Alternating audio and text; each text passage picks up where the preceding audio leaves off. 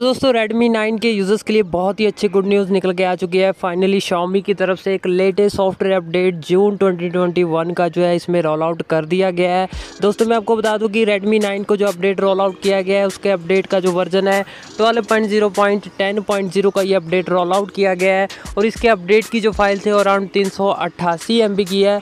तो फाइनली इसमें आपको ज़्यादा कुछ तो देखने को नहीं मिलता है, लेकिन इसमें आपको मई ट्वेंटी का लेटेस्ट सिक्योरिटी पैच अपडेट किया गया है। इसके अलावा सिस्टम की स्टेबिलिटी और परफॉर्मेंस को जो है इम्प्रूव किया गया है। इसके अलावा शाओमी क्लाउड में कुछ चेंजेस वगैरह किए गए हैं। बाकी ज़्यादा कुछ इसमें आपको देखने को नहीं मिलेगा। तो दोस्तों फाइनली ये तीन सौ का ये अपडेट है, जो कि रेडमी नाइन में इंडिया में जो है रोल आउट कर दिया गया है। अगर आप भी रेडमी नाइन स्मार्टफ़ोन यूज़ करते हैं तो फाइनली आप भी अपने सिस्टम अपडेट में जाकर इस अपडेट को चेक कर सकते हो। अगर आपको ये अपडेट मिला है तो फाइनली आप भी इसे इंस्टॉल कर सकते हो, जिसके बाद आपके भी स्मार्टफ़ोन में लेटेस्ट सिक्योरिटी पैच आपको देखने को मिल जाएगा।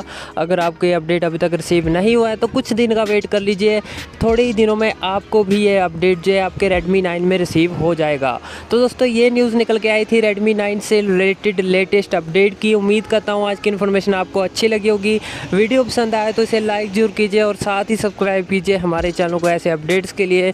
फिर मिलेंगे ऐसे इंटरेस्टिंग वीडियो के साथ। तब तक के लिए दोस्तों, जय हिंद।